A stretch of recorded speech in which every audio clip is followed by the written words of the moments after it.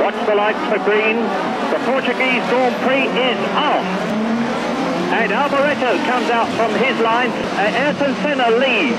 And it's De Angelis in second place. The two JPS Lotuses lead with Prost in third position with Alboreto in fourth place and Keke Rosberg stalled at the start. Keke Rosberg, there he is, stalled at the start. He's got to have a push start. A dreadful start for the Williams team with Nigel Mansell getting away from the pit lane. And we look now at the leaders as they go round turn three. And it's Ayrton Senna in the JPS Lotus leading a Grand Prix for the first time in his short career.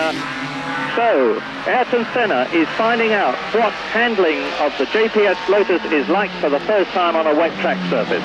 I don't think it really matters what the Lotus is like. He's got uh, such a prodigious talent. At the end of lap one, Ayrton Senna is leading. And there is one of the Rams, very difficult to tell apart, and one of the Ferraris too. It's Stefan Johansson's gone off, and where's Patrese?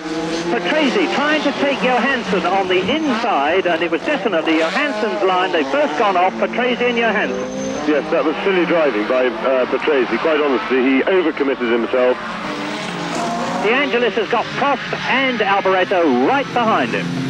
Yes, I think um, the back marker was holding him up a little bit, and that's given Prost and Alboreto the chance to close out. So now we've got a three-car battle for second place. And we are on lap 10 out of 70. Senna leading, well clear of the field. And Prost now, he's closing. Is he going to go through and take De Angelis from second place? Well, he had a good look there, but De Angelis is moving to the inside of the track to try and make Prost go the long way around, but I think he might have made a mistake. In, oh, what appalling conditions. And that is one of the Williams cars. I couldn't see whether it was Mansell or Rosberg. It's Rosberg, Rosberg, and look at his car stuck in the middle of the circuit. And they've really got to move that because that's in a very dangerous place. And let us not forget Ayrton Senna, who is quite calmly increasing his lead lap by lap. And the rain, incidentally, is now coming down a good bit harder. Yeah, it's Baldi again. He's had a dreadful race, in and out of the pit, spinning off this way, spinning off that way. Now he's gone onto the grass, and he's not only got a very broken motor car, as had Rosberg, but you will have noticed that he put an enormous amount of muck on the circuit. Ayrton Senna has been waving as he went past the pit at the officials to say stop the race. Now, Senna, and off goes Prost, and regains, and spin, spin. Uh, Alain Prost spins right off, and he's going to be out of the race with a smashed rear wing. And that was on the straight, and Senna, uh, for sure, has done that signal was because he started to aquaplane, and uh, really the conditions must now be very bad indeed. There goes Alboreto, uh, having a still very close to De Angelis. He's having a look down the inside, and Alboreto is going through into second place at long last. I think he caught De Angelis a little bit snapping then.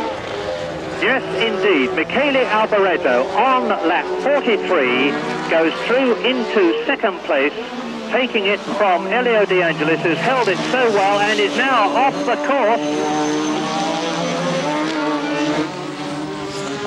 There it is. There it is. You saw behind De Angelis there the, the McLaren of Lauda and the Williams of Nigel Mansell in his first season with the Didcot team absolutely together. And Mans Mansell is through. Nigel Mansell is up into fifth position ahead of Niki Lauda. Now, here is Senna, placed, getting a little bit of toe, and I would think that he'll screw himself up just to go past De Angelis and give himself clear out. Uh, poor De Angelis blinded by spray then. Well, we've got about quarter of an hour to go now before the two-hour mandatory stopping of the race will take effect, and in which case we are certainly not going to go the full distance. There is the, the confirmation that the Portuguese Grand Prix is going to be stopped on the two-hour rule. The race official consulting his watch underneath the umbrella protecting his blazer from the rain.